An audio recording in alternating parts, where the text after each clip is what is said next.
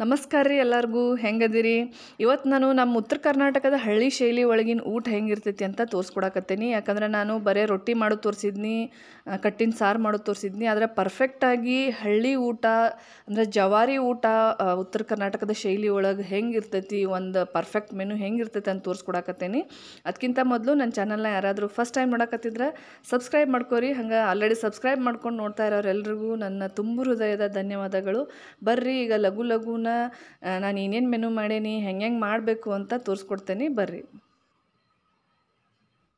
First ನಾನೀಗ ಹಸಿ ಖಾರ ಮಾಡಿ ಇಟ್ಕೊಳಕತ್ತೇನಿ ಹಸಿ ಖಾರ ಮಾಡೋಕ್ಕೆ ನಾನಿಲ್ಲ ಎರಡು ದೊಡ್ಡ ದೊಡ್ಡ ಸೈಜ್ ಬೆಳ್ಳುಳ್ಳಿನ ಸಿಪ್ಪೆ ಸುಲ್ದು ಇಟ್ಕೊಂಡೇನಿ ಆಲ್ರೆಡಿ ಹಂಗೆ ಒಂದು ಚಮಚ ಜೀರಿಗೆ ಹಾಕ್ಕೊಳಕತ್ತೇನಿ ನೆಕ್ಸ್ಟ್ ನಾನೀಗ ಒಂದು ಕಪ್ಪಷ್ಟು ಕೊತ್ತಂಬರಿ ಸೊಪ್ಪನ್ನು ತೊಳೆದು ಇಟ್ಕೊಂಡಿದ್ನಿ ಅದನ್ನು ಸೇರಿಸ್ಕೊಳಕತ್ತೇನಿ. ಹಂಗೆ ಒಂದು ಕಪ್ಪಷ್ಟು ಹಸಿಮೆಣಸಿನ್ಕಾಯಿ. ಈಗ ನಾನು ಅರ್ಧ ಇಂಚಷ್ಟು ಶುಂಠಿ ಹಾಕ್ಕೊಳಕತ್ತೇನಿ. ಶುಂಠಿ ಏನು ಭಾಳ ಬೇಕಾಗಿಲ್ಲ, ಅರ್ಧ ಇಂಚಷ್ಟು ಆದ್ರೆ ಸಾಕು. ನೆಕ್ಸ್ಟ್ ಈಗ ಒಂದು ಚಮಚದಷ್ಟು ಕಲ್ಲುಪ್ಪು ಹಾಕ್ಕೊಳಕತ್ತೇನಿ. ಈಗ ಎಲ್ಲನೂ ನಾನು ಚೆಂದಾಗೆ ಪೇಸ್ಟ್ ಮಾಡ್ಕೊಳಕತ್ತೇನಿ. ನೋಡ್ರಿ, ಈಗ ಹಸಿ ಖಾರ ರೆಡಿ ಆಯಿತು. ಈ ಥರ ಆಗೈತೆ ನೋಡ್ರಿ. ನಾನು ಹಸಿ ಖಾರ ಎಲ್ಲ ಈಗ ಒಂದು ಬೌಲಿಗೆ ತಗೊಳಕತ್ತೇನಿ ನೋಡ್ರಿ, ನಮ್ಮ ಹಸಿ ಖಾರ ರೆಡಿ ಆಯಿತು. ಈಗ ನೆಕ್ಸ್ಟು ನಾನು ಮಡ್ಕೆ ಕಾಳು ಪಲ್ಯ ಮಾಡ್ಬೇಕು ಅಂದ್ಕೊಂಡಿದ್ನಿ ಮಡ್ಕೆ ಕಾಳನ್ನ ನೆನೆಸಿ ಮೊಳಕೆ ಬರ್ಸಿಟ್ಕೊಂಡೇನಿ ಬರ್ರಿ ಈಗ ಲಘು ಲಘುನ ಮಡ್ಕೆ ಕಾಳು ಪಲ್ಯ ಮಾಡೋನು. ಮಡ್ಕೆ ಕಾಳು ಪಲ್ಯ ಮಾಡೋಕೆ ನಾನು ದೊಡ್ಡ ಚಮಚದಲ್ಲೇ ಒಂದೂವರೆ ಚಮಚದಷ್ಟು ಎಣ್ಣೆ ಹಾಕ್ಕೊಳಕತ್ತೇನಿ ಎಣ್ಣೆ ಫುಲ್ ಕಾದ್ಮೇಲೆ ಈಗ ನಾನು ಅರ್ಧ ಚಮಚದಷ್ಟು ಸಾಸಿವೆ ಹಾಕ್ಕೊಳಕತ್ತೇನಿ ಅರ್ಧ ಚಮಚದಷ್ಟು ಜೀರಿಗೆ ಹಾಕ್ಕೊಳಕತ್ತೇನಿ ನೆಕ್ಸ್ಟ್ ನಾ ಈಗ ಒಂದು ಮೀಡಿಯಮ್ ಸೈಜ್ ಉಳ್ಳಾಗಡ್ಡಿ ಹಾಕಾಕತ್ತೇನಿ, ಸಣ್ಣಗೆ ಹೆಂಚ್ಕೊಂಡು ಇಟ್ಕೊಂಡಿದ್ದು.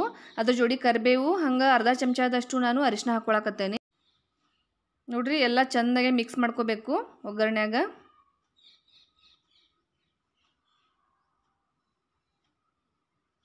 ನೆಕ್ಸ್ಟ್ ನಾ ಈಗ ಮುಕ್ಕಾಲು ಚಮಚದಷ್ಟು ಹಸಿ ಖಾರ ಹಾಕ್ಕೊಳಕತ್ತೇನಿ ಹಸಿ ಖಾರನ ಚೆಂದಾಗೆ ಮಿಕ್ಸ್ ಮಾಡ್ಕೋಬೇಕು ಒಗ್ಗರಣೆಯಾಗ. ಯಾಕಂದ್ರೆ ಚೆಂದಾಗೆ ಮಿಕ್ಸ್ ಮಾಡ್ಕೊಂಡ್ರೆ ಅದು ಖಾರ ಬಿಡ್ತೈತಿ.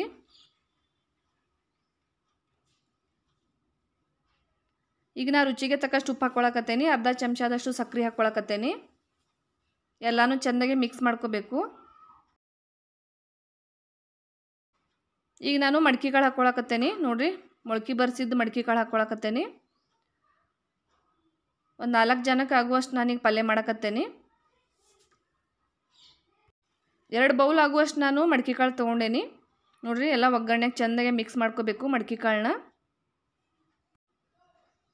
ಇದನ್ನು ನಾವು ನೀರು ಹಾಕ್ದೆ ಬೇಯಿಸ್ಕೋಬೇಕು, ಹಬೇದ ಮೇಲೆ ಬೇಯಬೇಕು. ಹಾಗಾಗಿ ನಾವು ಒಂದು ಪ್ಲೇಟ್ ಮುಚ್ಚೇನಿ.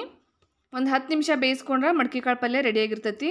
ನಾ ಮಡ್ಕೆ ಕಾಳು ಪಲ್ಯ ರೆಡಿ ಆಗುವಷ್ಟೊತ್ತಿಗೆ ಪಚಡಿ ಮಾಡತ್ತೀನಿ ಪಚಡಿ ಮಾಡೋಕೆ ನಾ ಇಲ್ಲಿ ಮೂಲಂಗಿ ಸೊಪ್ಪನ್ನು ಚೆಂದಾಗೆ ನೀರು ಹಾಕಿ ತೊಳೋದು ಈಗ ಸಣ್ಣಗೆ ಹೆಂಚಿಟ್ಕೊಳಕತ್ತೇನಿ ನೋಡ್ರಿ ಈ ಥರ ಸಣ್ಣಗೆ ಹೆಂಚ್ಕೋಬೇಕು. ರೊಟ್ಟಿ ಮತ್ತು ಕಾಳು ಪಲ್ಯ ಈ ಪಚಡಿ ಇದ್ರೆ ಭಾರಿ ಕಾಂಬಿನೇಷನ್ ಇರ್ತೈತಿ, ಭಾರಿ ಟೇಸ್ಟ್ ಆಗಿರ್ತೈತಿ. ಈಗ ನಾನು ಹೆಂಚ್ಕೊಂಡಿರೋ ಎಲ್ಲ ಮೂಲಂಗಿ ಸೊಪ್ಪನ್ನು ಒಂದು ಬೌಲಿಗೆ ಹಾಕ್ಕೊಳಕತ್ತೇನಿ. ನೆಕ್ಸ್ಟ್ ನಾನು ಮೂಲಂಗಿ ಹೆಂಚ್ಕೊಳಕತ್ತೇನಿ. ಮೂಲಂಗಿನೂ ಸಹಿತ ಭಾಳ ಸಣ್ಣಗೇನೆ ಹೆಂಚ್ಕೋಬೇಕು. ಪಚಡಿಗೆ ಭಾಳ ದಪ್ಪ ದಪ್ಪ ಆದ್ರೆ ಅಷ್ಟು ಚಲೋ ಆಗೋದಿಲ್ಲ. ಸಣ್ಣಗೆ ಹೆಂಚ್ಕೊಂಡ್ರೆ ಭಾಳ ಟೇಸ್ಟ್ ಆಗಿರ್ತೈತಿ. ಈಗ ನೆಕ್ಸ್ಟ್ ನಾನು ಪಚಡಿಗೆ ಹಾಕೋಕೆ ಒಂದು ಮೀಡಿಯಮ್ ಸೈಜ್ ಉಳ್ಳಾಗಡ್ಡಿ ತೊಗೊಂಡೇನಿ. ಇದನ್ನು ಸಹಿತ ಸಣ್ಣಗೆ ಹೆಂಚ್ಕೋಬೇಕು. ನೋಡ್ರಿ, ಇದನ್ನು ನಾನೀಗ ಬೌಲಿಗೆ ಹಾಕ್ಕೊಳಕತ್ತೇನಿ. ಈಗ ಪಚಡಿಗೆ ನಾನು ರುಚಿಗೆ ತಕ್ಕಷ್ಟು ಉಪ್ಪು ಹಾಕ್ಕೊಳಕತ್ತೇನಿ ಹಂಗೆ ಅರ್ಧ ಚಮಚದಷ್ಟು ಸಕ್ರೆ. ಅಚ್ಚ ಖಾರದ ಪುಡಿ ಹಾಕ್ಕೊಳಕತ್ತೇನಿ ನೀವು ಬೇಕಾದ್ರೆ ಹಸಿ ಖಾರನೂ ಹಾಕ್ಕೋಬೋದು ಹಂಗೆ ಸ್ವಲ್ಪ ಎಣ್ಣೆ ಹಾಕ್ಕೊಳಕತ್ತೇನಿ ಒಂದು ಅರ್ಧ ಚಮಚದಷ್ಟು ಹಂಗೆ ಸ್ವಲ್ಪ ಕೊತ್ತಂಬರಿ ಸೊಪ್ಪು ಉದುರಿಸ್ಕೊಳಕತ್ತೇನಿ. ನಮ್ಮ ಮನ್ಯಾಗ ಸ್ವಲ್ಪ ಖಾರ ಕಮ್ಮಿ ತಿನ್ನೋದ್ರಿಂದ ನಾನು ಖಾರ ಕಮ್ಮಿ ಹಾಕ್ಕೊಂಡೇನಿ ನೀವು ಬೇಕಾದ್ರೆ ಇನ್ನೊಂದು ಸ್ವಲ್ಪ ಜಾಸ್ತಿ ಹಾಕ್ಕೋಬೋದು ಅಚ್ಚ ಖಾರದ ಪುಡಿ. ನೋಡಿರಿ ನಮ್ಮ ಟೇಸ್ಟಿಯಾಗಿರೋ ಪಚಡಿ ರೆಡಿ ಆಯಿತು. ನೋಡ್ರಿ ಟೇಸ್ಟಿ ಮತ್ತು ಹೆಲ್ದಿಯಾಗಿರೋ ನಮ್ಮ ರುಚಿ ರುಚಿಯಾದ ಪಚಡಿ ರೆಡಿ ನೋಡ್ರಿ, ಹತ್ತು ನಿಮಿಷ ಆಯಿತು ಮೊಳಕೆ ಕಾಳು ಪಲ್ಯ ರೆಡಿ ಆಗೈತಿ, ಮಡ್ಕೆ ಕಾಳ್ದು.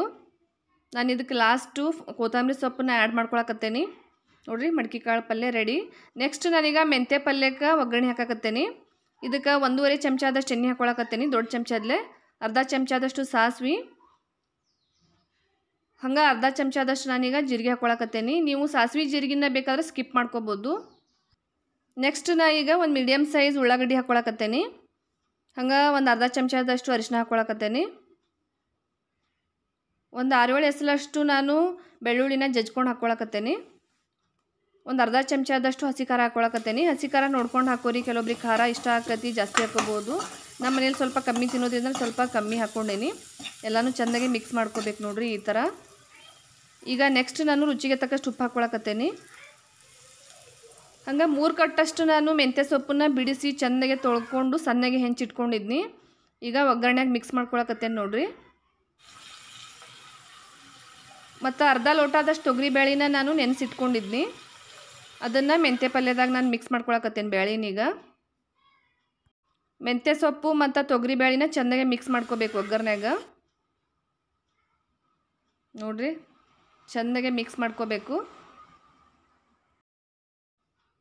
ಇದಕ್ಕೂ ಅಷ್ಟೇ ನೀರು ಹಾಕೋದೇನು ಬೇಡ. ಹಂಗೆ ಇದು ಹಬೇದ ಮೇಲೆ ಬೆಂದ್ಬಿಡ್ತೈತಿ. ನೋಡ್ರಿ, ಈಗ ಒಂದು ಹತ್ತು ನಿಮಿಷ ನಾನು ಮೆಂತ್ಯ ಪಲ್ಯ ಬೇಯಕ್ಕೆ ಬಿಡಾಕತ್ತೇನೆ. ಸಣ್ಣ ಊರಿಲಿ ಬೇಯಕ್ಕೆ ಇಟ್ಟಿರಬೇಕು ಮೆಂತ್ಯ ಪಲ್ಯನ. ನೆಕ್ಸ್ಟ್ ನಾನು ಬೆಳ್ಳುಳ್ಳಿ ಮೊಸರನ್ನ ಮಾಡೋಕ್ಕೆ ಒಂದು ಏಳೆಂಟು ಹೆಸರು ಬೆಳ್ಳುಳ್ಳಿ ತೊಗೊಂಡೇನಿ. ಇದಕ್ಕೆ ಮೊಸರು ಕಲಸಿದ ಅನ್ನನೂ ಅಂತಾರು. ಹಂಗೆ ಅರ್ಧ ಇಂಚಷ್ಟು ನಾನು ಶುಂಠಿ ತೊಗೊಂಡೇನಿ. ಇದನ್ನು ಚೆಂದಾಗೆ ಜಜ್ಕೋಬೇಕು. ಪೂರ್ತಿ ಪೇಸ್ಟ್ ಆಗಬಾರ್ದು. ಸ್ವಲ್ಪ ತರಿ ತರಿಯಾಗಿ ನಾವು ಜಜ್ಕೋಬೇಕು. ನೋಡ್ರಿ ಅರ್ಧಂಬರ್ಧ ಜಜ್ಕೋಬೇಕು. ಪೂರ್ತಿ ಪೇಸ್ಟ್ ಆಗಬಾರ್ದು. ಇದನ್ನು ನಾವು ಜರ್ನಿ ಮಾಡುವಾಗ ಜಾಸ್ತಿ ಇದನ್ನು ಮೊಸರನ್ನ ಮಾಡ್ತಾರೆ. ಯಾಕಂದ್ರೆ ಲಘು ಕೆಡೋದಿಲ್ಲ ಅಂತ ಹೇಳಿ ಇದನ್ನು ಜರ್ನಿ ಮಾಡುವಾಗ ಹೆಚ್ಚಾಗಿ ಮಾಡೋದು. ಇದನ್ನು ಮೊಸರನ್ನ ಮಾಡೋಕೆ ನಾನು ಅನ್ನನ ಚೆಂದಾಗಿ ಹುಗ್ಗಿ ಥರ ಕುದಿಸ್ಕೊಂಡು ಇಟ್ಕೊಂಡೇನಿ. ಯಾಕಂದ್ರೆ ನಾವು ಮೊಸರನ್ನ ಮಾಡ್ತೇವಲ್ಲ, ಅದೇ ಥರ ಅನ್ನನ ಸ್ವಲ್ಪ ಮೆತ್ತಗೆ ನಾವು ಕುದಿಸ್ಕೊಂಡು ಇಟ್ಕೊಂಡಿರಬೇಕು. ನೀರು ಜಾಸ್ತಿ ಹಾಕಿ ಬೇಯಿಸ್ಕೊಂಡು ಇಟ್ಕೊಂಡ್ರೆ ಇದು ಚೆನ್ನಾಗಿ ಮೆತ್ತಗಾಗಿರುತ್ತಿದು. ಬೆಳ್ಳುಳ್ಳಿ ಮೊಸರನ್ನ ಮಾಡೋಕೆ ಒಂದು ಕಪ್ ನಾನು ಮೊಸರು ಹಾಕ್ಕೊಳಕತ್ತೇನಿ ಅರ್ಧ ಕಪ್ ಹಾಲು ಹಾಕ್ಕೊಳಕತ್ತೇನಿ.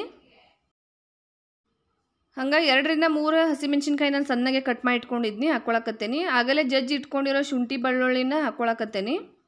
ಹಂಗೆ ರುಚಿಗೆ ತಕ್ಕಷ್ಟು ಉಪ್ಪು, ಮತ್ತು ಸ್ವಲ್ಪ ಕೊತ್ತಂಬರಿ ಸಣ್ಣಗೆ ಹೆಂಚಿ ಇಟ್ಕೊಂಡಿದ್ನಿ, ಅದನ್ನು ಸೇರಿಸ್ಕೊಳಕತ್ತೇನಿ.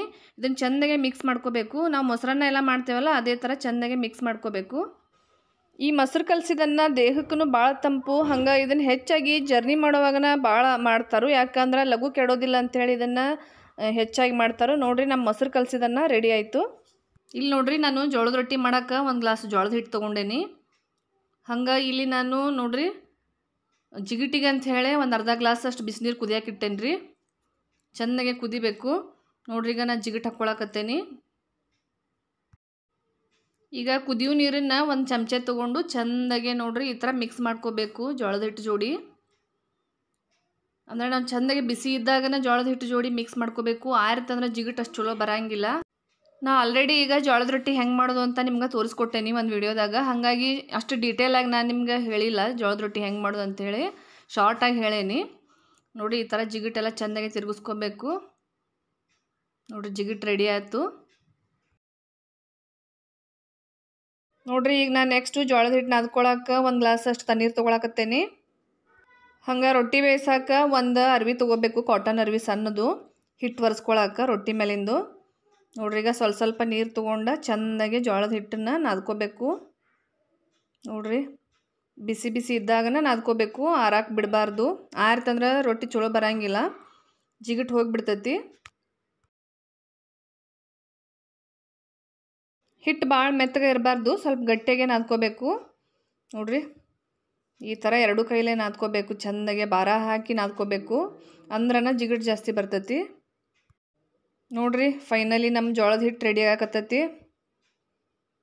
ನೋಡ್ರಿ, ಎಲ್ಲ ಚೆಂದಾಗೆ ನಾದ್ಕೊಂಡು ಫೈನಲಿ ನಮ್ಮ ಜೋಳದ ಹಿಟ್ಟು ರೊಟ್ಟಿ ಮಾಡೋಕೆ ರೆಡಿ ಆಯಿತು.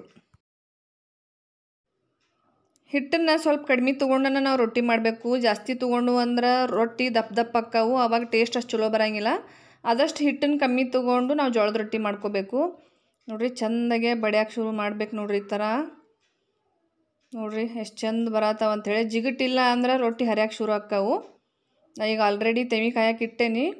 ಜೋರು ಉರಿ ಒಳಗೆ ಇಡಬೇಕು ತೆವಿನ ಯಾಕಂದ್ರೆ ಚೆಂದಾಗೆ ಬೇಯಬೇಕಂದ್ರೆ ತೆವಿ ಫುಲ್ ಕಾಯಬೇಕು. ನೋಡ್ರಿ, ಸಣ್ಣದಿದ್ದಾಗ ಒಂದ ಕೈಲೇ ಬಡ್ಕೋಬೇಕು. ನೋಡ್ರಿ, ರೊಟ್ಟಿ ಸೈಜ್ ದೊಡ್ಡದಾದಂಗೆ ಆದಂಗೆ ಎರಡು ಕೈಯಿಂದ ಬಡಿಬೇಕು.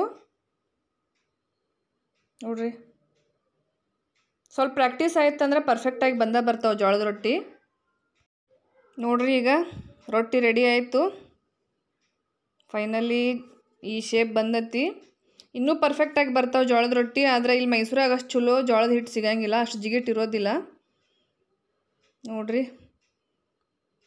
ಈಗ ರೊಟ್ಟಿ ಹಿಟ್ಟನ್ನು ತಕ್ಕೋಬೇಕು ಹಸಿ ಬಟ್ಟೆಯಿಂದ.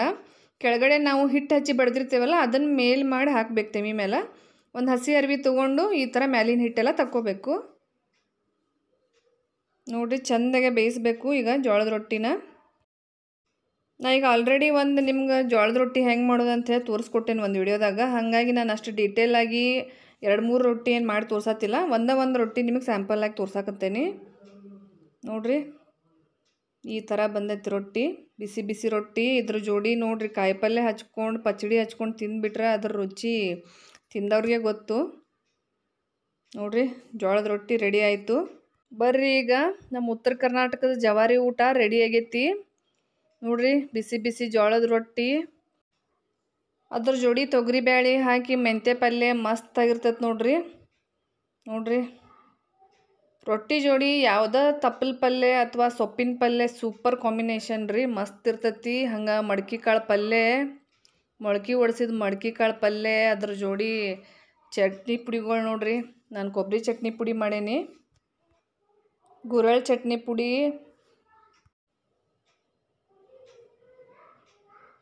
ನೋಡ್ರಿ, ಹಸಿ ಖಾರ ಮತ್ತು ಎಣ್ಣೆ ಇರ್ಬೇಕು ರೀ ಹಸಿ ಖಾರದ ಜೋಡಿ ಸ್ವಲ್ಪ ಎಣ್ಣೆ ಹಾಕ್ಕೋಬೇಕು, ಒಂದು ಅರ್ಧ ಚಮಚೆ. ಮಸ್ತ್ ಟೇಸ್ಟ್ ಇರ್ತೈತಿ. ಹಂಗೆ ಪಚಡಿ ನೋಡ್ರಿ.